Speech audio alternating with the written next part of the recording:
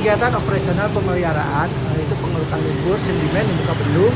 Jadi untuk mengurangi risiko eh, pendangkalan di muka bendung, kita mengadakan eh, pembersihan lumpur. Rutin. Setiap ada habis banjir, kita rutin. Biasanya satu minggu sekali. Karena eh, dampak dari hulu ada pekerjaan-pekerjaan dan pengeruh eh, pendangkalan di muka bendung kita rutin. Satu minggu sekali kita bersih.